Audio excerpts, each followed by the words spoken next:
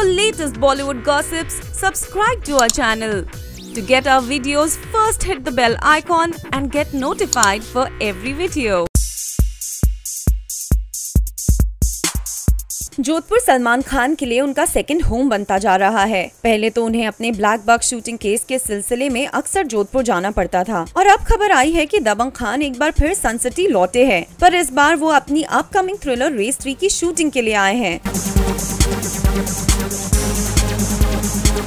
हालाँकि सलमान को gangster Lawrence Bishnoi की धमकियाँ मिल रही थी कि वो सलमान को जोधपुर में मार डालेंगे। फिर भी सलमान ने इन धमकियों की परवाह न करते हुए जोधपुर में शूटिंग के लिए हामी भरी। मगर मेकर्स को इस बात की बहुत चिंता है और वो बन रहे हैं एक्स्ट्रा केयरफुल एक इंसाइडर का कहना है की सिक्योरिटी को डबल कर दिया गया है और रेस थ्री के शूट के दौरान सलमान के साथ बाकी कास्ट को भी सिक्योरिटी प्रोवाइड की जाएगी।